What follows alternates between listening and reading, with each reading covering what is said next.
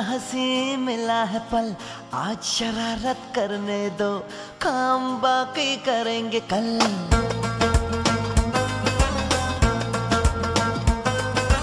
कोई नहीं है कमरे में। क्या हँसी मिला है पल?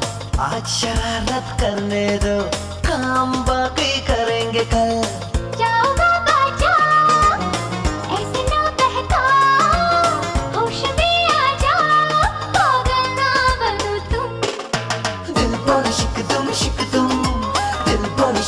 aşık doğum